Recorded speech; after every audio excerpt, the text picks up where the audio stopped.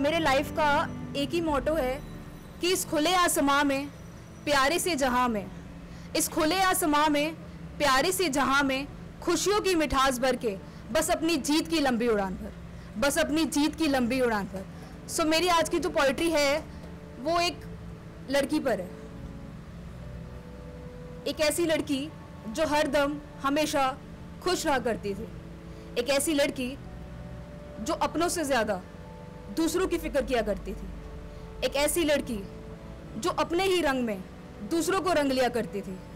एक ऐसी लड़की जो अपनी मुस्कान और अपनी बातों से दूसरों का दिल जीत लिया करती थी। आखिर उसकी लाइफ में ऐसा कौन सा मोड़ आ जाता है जिसकी वजह से वो अपनी इस खूबसूरत सी ज़िंदगी को बदल देते हैं? वो कौन सा मोड़? वो कौन था? वो कौन था जिसने तेरे दिल को इस कदर बदल दिया कि तूने मुस्कुराना ही छोड़ दिया? वो कौन था जिसने तेरे जिस्म को इस कदर बदल दिया कि तूने जीना ही छोड़ दिया? वो कौन था जिसने तेरी रूह को इस कदर बदल दिया कि तूने लोगों को अपनाना ही छोड़ दिया? वो कौन था जो तेरे पर इतनी ज़्यादा जुल्म कर गया कि तूने आज लोगों को बात लोगों की बातों को मानना ही छोड़ दिया? वो कौन था जिसने तेरी मासूमियत को इस कदर बदल दिया कि तूने आज अपने परिवार की बात को मानना ही छोड़ दिया। वो जो भी था, वो जहाँ भी है, वो आज भी कहीं तेरे आसपास ही है। तू डर मत, बस आगे बढ़, क्योंकि तेरी जीत में ही उसकी हारी है।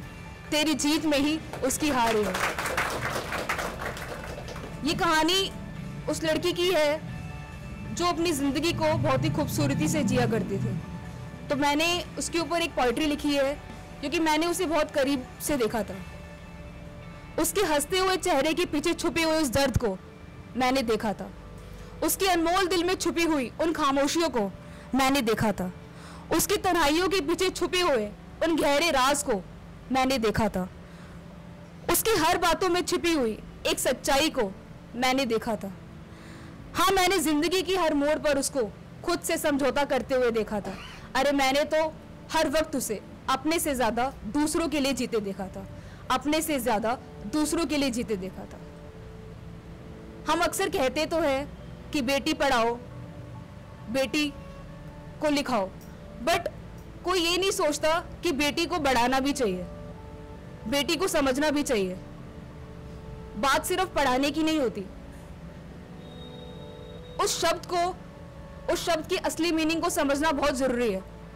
अगर आज इस लड़की के माँ बाप ने उसको समझा होता, उसकी तकलीफ़ को जाना होता तो आज उसका ये हाल ना होता। सिर्फ़ पढ़ाना ही इम्पोर्टेंट नहीं होता, बल्कि उसको समझना भी उतना ही ज़रूरी होता है। हम अक्सर, हमारे जो पेरेंट्स हैं, वो इस सोच में डूब जाते हैं कि लोग क्या सोचेंगे। लोग तो हमेशा बहुत कुछ सोचते हैं लेकिन जो एक बच्चे की दिल की गहराई होती है, वो कोई नहीं सोचता। तो इसलिए मेरी आप सबसे यही रिक्वेस्ट है लास्ट में कि सुनकर नहीं, सुनाकर आया करो। सुनकर नहीं, सुनाकर आया करो। इज़्ज़त गिराकर नहीं, कमाकर आया करो। सुनकर नहीं, सुनाकर आया करो। इज़्ज़त गिराकर नहीं, कमाकर आया करो। ये ज़िंदगी तो बस दो पल की है यारो, इसलिए दूसरों के लिए नहीं, खुद के लिए जीकर आया करो। दूसरों के लिए नहीं, खुद के लिए जीकर आया करो। Thank you